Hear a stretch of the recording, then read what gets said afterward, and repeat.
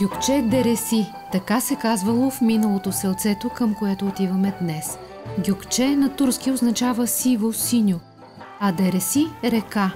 Днес там живеят чисти българи, а селото си още от едно време наименували Сива река или Сива ряка, както местните си го наричат. Ние отиваме да видим как така се борят жените там и как правят смигали.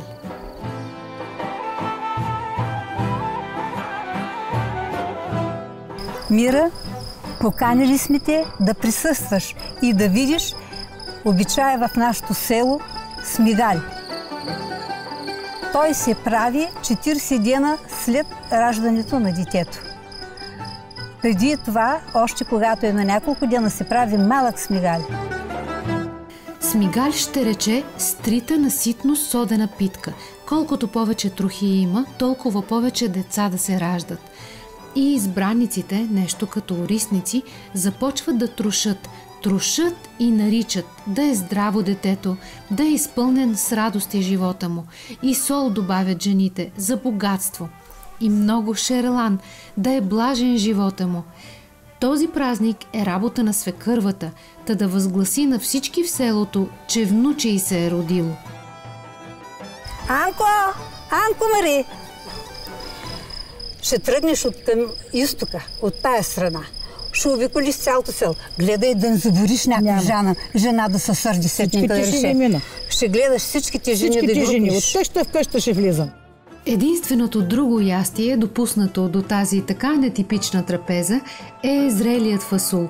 Той пак е символ на пълното, на плодородието, на здравото. Комице, комице, комице всичко готово ли е? Калмано всичко е готово. Ам гледам, питите са хубави. Фасули сварили са. Пили бебето, снахо. Миличкото, спи, баба, спи.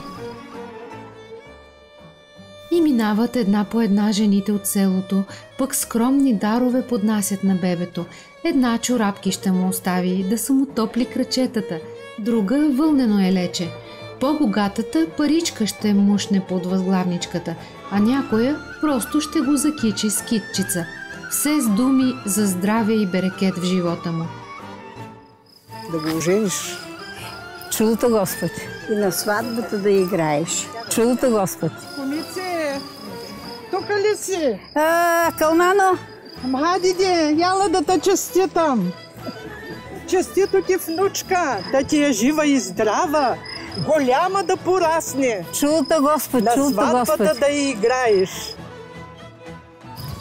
Айде, та калмана много хубава пляна е изплела. Та зима ни 12 зими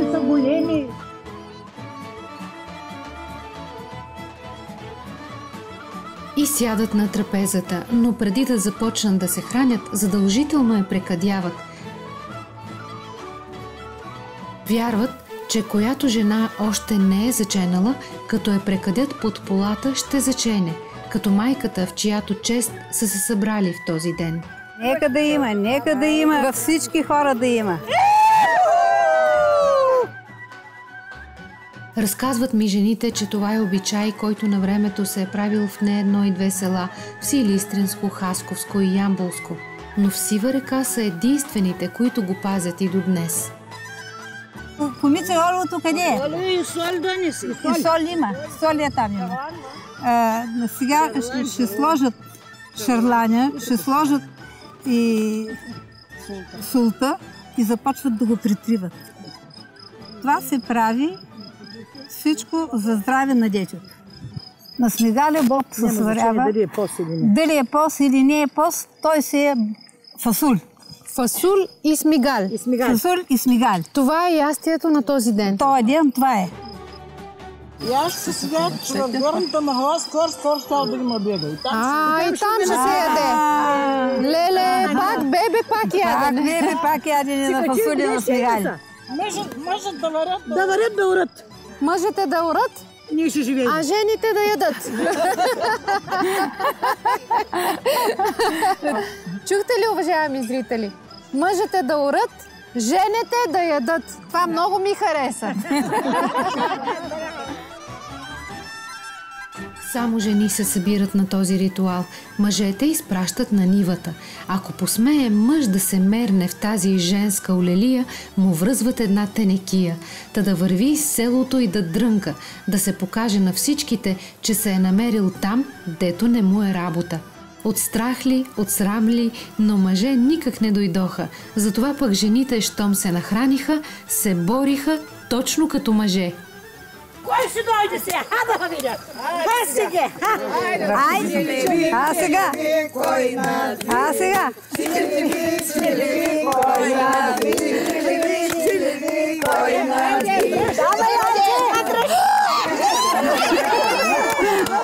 Как дикнеш кръка, ще паднеш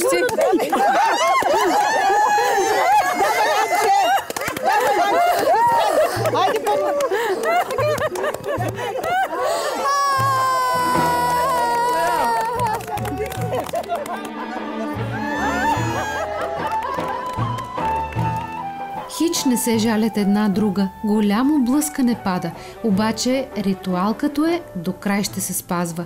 Така вярват, че още веднъж наричат детето, да е здраво, силно, да може да се бори с живота. И празникът продължава задължително с танци и песни, чак докато мъжете се върнат от нивата.